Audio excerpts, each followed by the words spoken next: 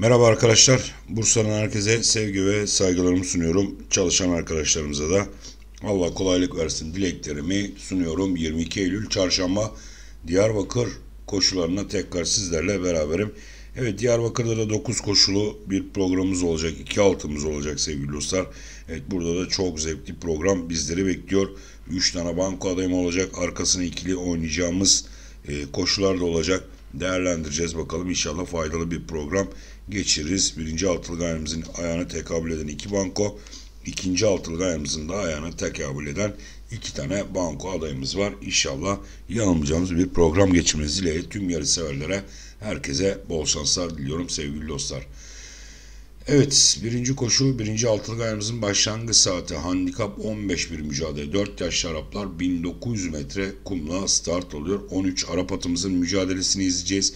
Bir ekürümüz olacak. 2 ile Altınoluk aldırmaz ekür olarak start alacaklar. Evet benim sıralamam son koşusunda iyi bir koşu çıkartıp Sadık Altay'la da ilk defa buluşan Aprant arkadaşımızla Diyarbakır'da şartlı 2900'e bu mesafede e, Cinderella, Cinderella yani 11 nolu safkanımız e, kazanmasını bildi. Yine aynı mesafede aynı pistte mücadele edilecek etkili bir koşu. Yine beklediğim safkanlardan biri bomboş kiloyla 11'i ilk şans safkanım. ikinci atım 7 nolu Aktaş at diyeceğiz sevgili dostlar Mehmet Doğan'la. O da yaptığı son koşusunu Diyarbakır'da handikap 13.700'ü kazanarak mesafe 200 metre uzasa da yine etkili bir koşu. Beklediğim safkanlardan biri 7 ikinci şans safkanım. Üçüncü atın 4 nolu son mahsul Ferit yardımcıyla. Sonradan 3 nolu Gündüz Kral olacak. 2 nolu Safkanımız Ekürüler Aynalı Çarşı İsa Akgöz'de mutlaka değerlenme altın o aldırmazla ekiliyor. Sonradan 5 nolu Yalas Topu ve de 10 nolu Çılgın Çocuğa da bir çarpı atmak doğru olacaktır bu koşu için. Sıralamam 11-7, 4-3, 2-5 ve 10 nolu safkanlar olacak. Evet ikinci koşu birinci beşlik ayağımızda başlangıç ayağı bir Maylen koşusu e, olacak. 3 yaş Arapların 1200 metre kumdaki mücadelesini izleyeceğiz. Evet bakıldığında Sarraf Baba e, Ali Şambar'la e, iyi koşular çıkarttı sevgili Ali Şambar'la bir kere start aldı. ikinci kez buluştu. Sarraf Baba iyi koşular e, çıkarttı. Adana olsun Diyarbakır pistinde, Elazığ pistinde yani bu mesafelerde Sarraf Baba bir iki adım öne çıksa da ben burada rakipleri var sevgili dostlar. Onları da göz ardı etmeyeceğim. Biri ilk şanslı Afganımız olacak. İkinci attım Çinli Yar diyeceğim ben. 8 nolu safkanımız. Sonra 7 nolu Uçam Muhtar. 4 nolu safkanımız Rodin Baba. Mutlaka değerlendirelim. Dikkat diyeceğim safkanlardan biri. Ve de 9 nolu Tatvan incisinde kuponda ayırmayarak yer vereceğim. Sıralamam 1, 8, 7, 4 ve 9 nolu safkanlar olacak. Evet üçüncü koşumuz şartlı. 2-1 mücadele. 3 yaşlı Araplar 1200 metre kumla start alıyor. 7 plase ve birinci üçlü ayağımızın da başlangıç ayağı. 8 Arap atımızın mücadelesini izleyeceğiz. Evet ben burada banko adayım. İsa Akyoz'la ilk defa buluşan Al Savaşçı diyeceğim ben. Yaptığı 3 koşusu Elazığ'da yarış hayatına başladı. 1200'e maalesef derecesi. Sonra Diyarbakır'da mücadelesi olduğu bir altıncılık arkasından tekrar Diyarbakır'da mücadele ederek Mayden'e veda etti. Bu mesafede çok etkili bir koşu çıkartmıştı. 7 günlük aradan sonra bir haftalık aradan sonra tekrar pistlere dönen Al Savaşçı benim banko adayım ve de banko olarak kuponumda yer vereceğim. Bunun arkasına 4 nolu sekreterya e, bağlayabiliriz. Ve de 1 nolu Safkan'ı Barbarol ilk koşusunda kazanma başarısı gösterir. Şanlıurfa'da 1300'de. Şimdi ilk defa Diyarbakır pistine geliyor. 93 günlük bir arası var. E, Diyarbakır pistinde ilk defa koşacak. Yani biraz geri planda bıraktım ben onu. İkinciliğe bağladım. İki nolu Safkan'ız. Banko adayımız. Altılı gayanımızda ikili deneyecek arkadaşlar. 4 ve 1'e de değerlendirebilir. Yarın ben burada bir ikili deneyeceğim sevgili dostlar. Evet dördüncü koşumuz ikinci altılı gayrımızda başlangıç ayağı olacak. Bir Maylen koşusu 3 yaşlı Araplar 1200 metre kumla start oluyor. ikinci altılı gayrımızın başlangıç ayağı. Evet 15 Arap atımızın mücadelesini izleyeceğiz. Evet burada da kalabalık tuttuğum bir koşu hatta hatta kapamaya kadar gidecek bir koşu sevgili dostlar.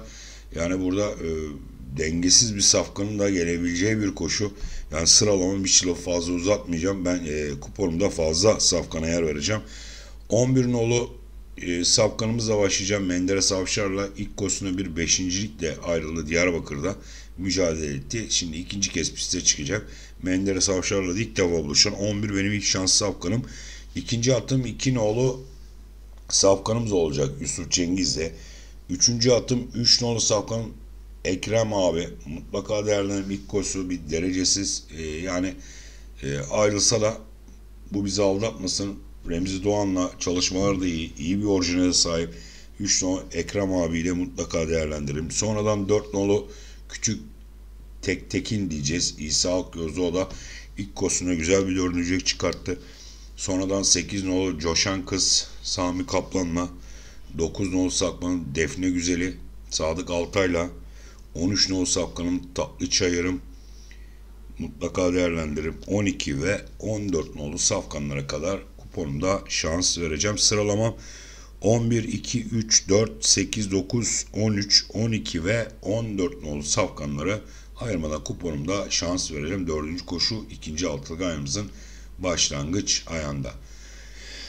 Evet 5. koşumuz açık 3 bir mücadele uluslararası Diyarbakır Karpuz Festivali koşusu olacak. 3 ve yukarı İngilizler 2000 metre kumla start alıyor. İkinci beşlik ayımızın başlangıç ayağı 15 İngiliz safkanımız mücadele verecek. Evet burada iki ekürümüz e, pardon bir ekürümüz var.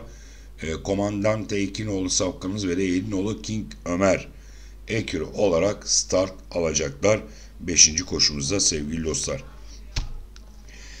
Evet e, burada da kuponumda şans vereceğim safkanlar sevgili dostlar. E, etkili bir koşu çıkartmasını beklediğim.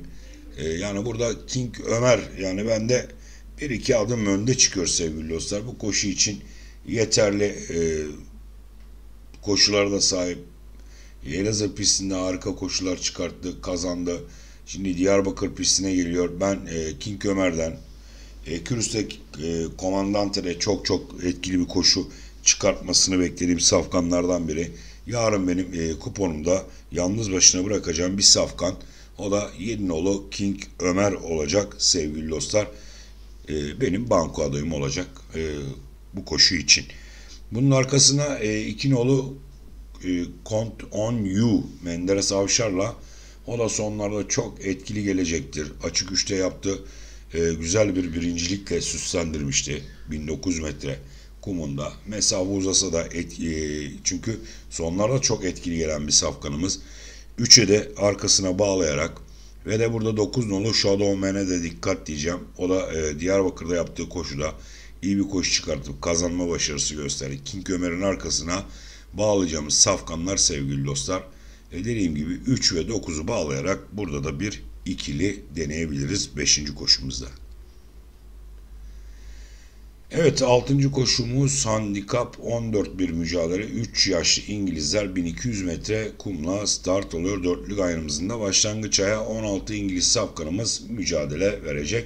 Bir ekürümüz olacak. Bir nolu Ketenci Bey ve 5 nolu Latif Baba ekürü olarak start alıyorlar.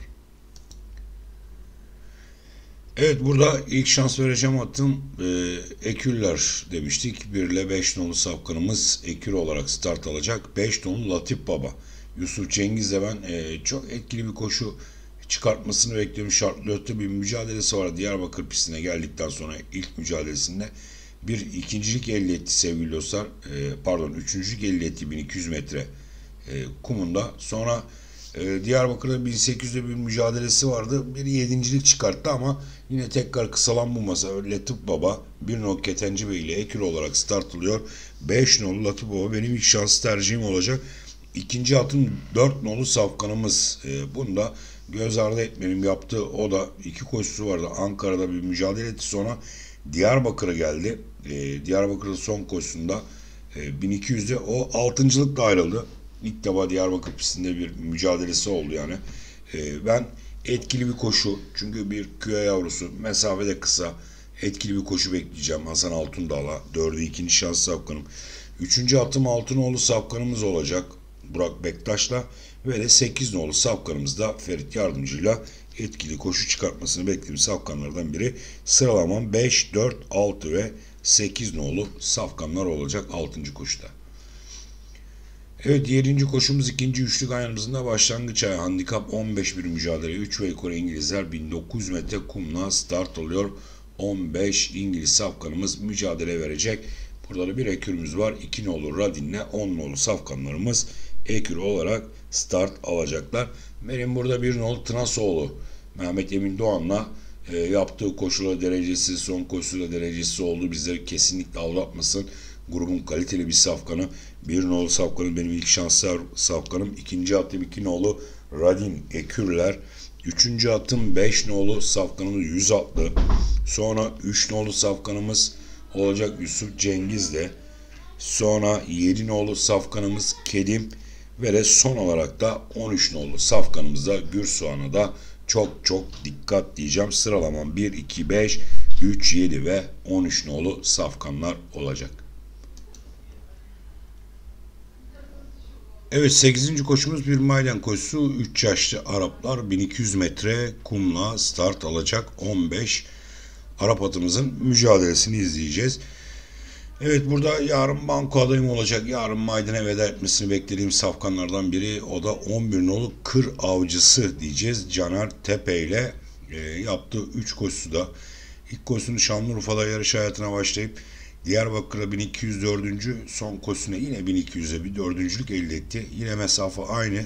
Sevgili Kır Avcısı Caner Tepe ile ben kazanmasını bekliyorum. Yarın benim banko adayım olacak.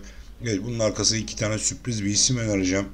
İkili deneyecek arkadaşlar. Yedinoğlu Safkanımız olacak. Fesih Çetin başla yaptığı ilk koşusunu Elazığ'da 1200'de derecesi ayrılsa Diyarbakır pistinde 1200'de bir beşincilik elde etti.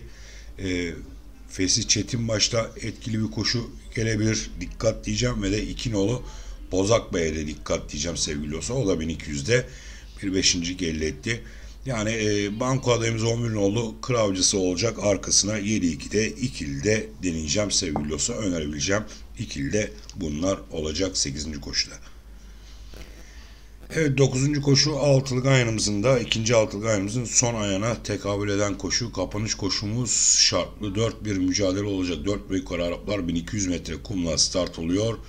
16 Arap atımızın mücadelesini izleyeceğiz. Evet burada da fazla bir ekürlerimiz olacak. Bir nolu Dumrul, yedi nolu Eğirmili Ekürü, üç nolu safkanımız, altı ve sekiz nolu safkanlar Ekürü, bir ekürümüz daha olacak. 12 ile 15 nolu Makruköy Ekür olarak start alacak. Evet burada da sıralamam 5 safkana önereceğim. İlk şans safkan 13 nolu hedefe koş diyeceğim. Fesi Çetin başla. Etkili bir koşu yine gelecektir. Son yaptığı koşusunu 1200'e kazanarak bu mesafede yine e, Diyarbakır'da mücadele edecek.